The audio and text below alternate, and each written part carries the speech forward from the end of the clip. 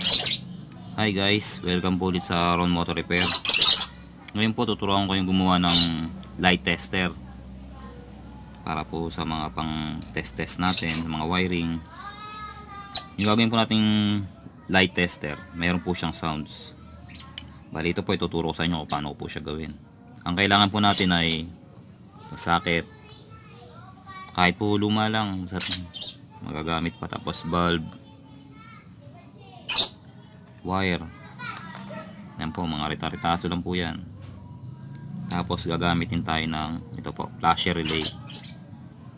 Ito po yung ginagamit sa signal light. Pero ang kaibahan po nitong flasher relay na to meron po siyang sounds. Mapansin nyo po minsan yung mga motor pag nagsisignal light sila tumutunog. Ito po yun. Dalawang klase po kasi ito merong with sounds saka without sounds. Ang bibili nyo po yung with sounds.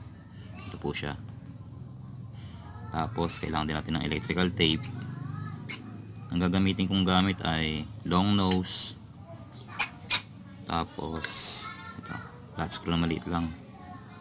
Syempre kailangan din natin guys ng battery para pan check natin. Sige guys umpisahan ko na. Una kong gagawin guys bubuksan ko tong binil natin flasher relay. Ito lang na yung mga lock niya sa gilid eh sipatin lang natin siya. Yan. Yan guys ang naman niya sa loob. Bali ito magagamit yun pa itong flasher relay na to. Kukunin lang natin ito. Itong part na to ang kailangan gamitin natin. Putulin ko na lang siya.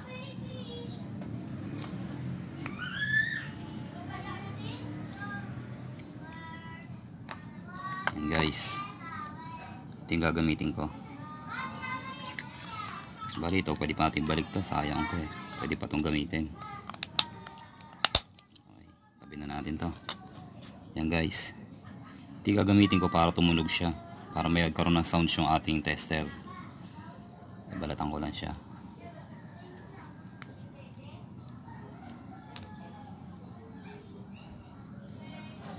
Yan siya guys. Ito, madali lang siyang gawin guys pero malaking tulong to lalo na pagka nag tayo ng mga electrical nagre-repair tayo ng electrical. Kahit yung pagkakabit natin ng mga busina nagagamit rin to guys. Ito papantayin ko lang to guys. Yan yan siya guys. Tapos yung wire natin depende na sa inyo kung gaano kahaba ah. ito testing lang naman natin to. Kung saan kayo mas magiginhawahan babawasan ko ito masyadong mahaba guys.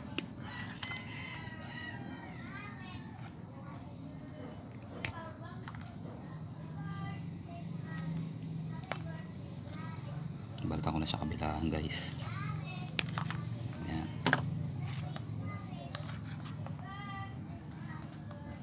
tapos bali pinili ko ng wire guys. Red sa black. Para madaling tandaan ko ano yung positive guys. Ngayon na uh, balatan ko na siya pare-parehas. Ito na lalagay na natin tong speaker natin. Ng red sa kabila.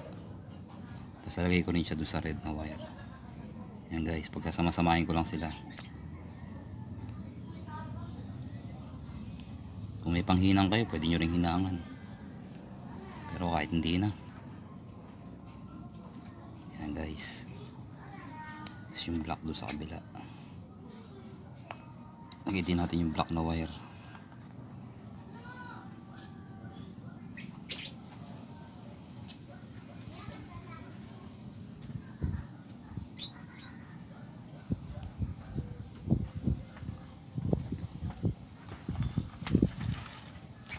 Siya guys. Ganyan siya. Tapos ngayon lalagyan natin siya ng electric, electric tape. Para hindi siya mag mag short pagka ginagamit natin.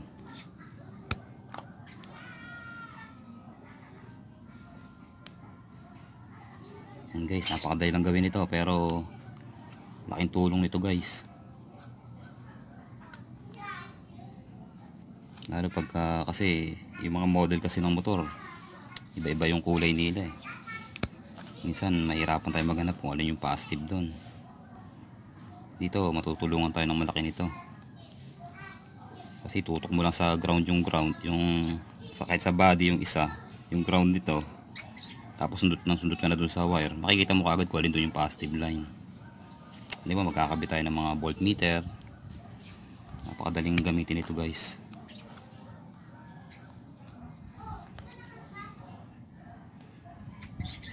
yan siya guys.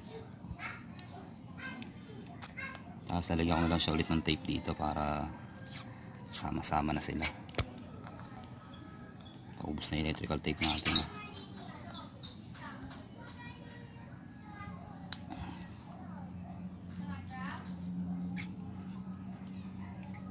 Ayan, guys. Ganyan lang guys oh.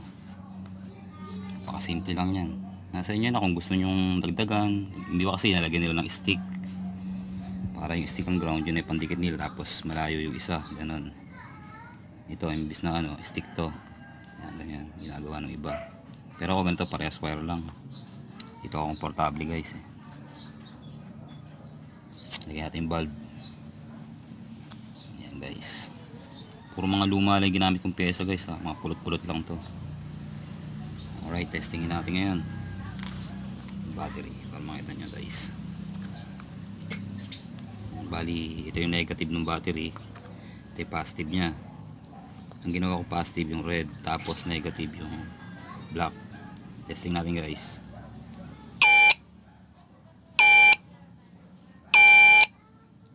Nyo guys. May tunog siya. Sa isa pang purpose nung sounds ko minsan kasi nagte-tester tayo. Accidentally na pundi pala yung bumbilya eh hindi natin alam. Eh, ito guys kahit walang bumbilya to ayan try ko tanggalin yung bumbilya. Yan halimbawa napundi siya. Yan busted. Oh, halimbawa wala, wala siyang bumbilya. Tutunog pa rin siya guys. Di ba? Tapos ito yung sinasabi ko sa inyo kaya madali maghanap ng polarity. Madali yung mahanap yung positive. Saka malalaman mo agad kung baligtad yung kung alin yung, kung alin yung positive sa tinetest mong dalawang wire kasi pag tama ang connection mo tutunog talaga siya. Pag mali ganito ganito ang mangyayari guys oh. Halimbawa itong negative ng tester lagay ko naman siya sa positive. Tapos yung positive nyo lagay sa negative. Yan guys. Wala siyang sounds di ba? Ganon. Pagka ibig sabihin pagka mali yung gamit mo di ba baligtad hindi siya tutunog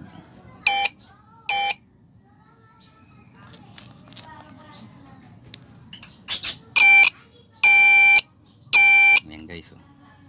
Di ba napakasimple ng tester natin? Pero may sound siya. Laking tulong to guys. Madali lang gawin kahit yung mga pinaglumaan nyo lang dyan sige guys. Hanggang dito na lang. Sana may natutunan kayo. Pa-subscribe na lang po dun sa mga hindi pa po nakapag-subscribe sa channel ko. Maraming salamat po sa lahat ng mga sumusuporta sa akin. Ah, sige guys. Hanggang sa susunod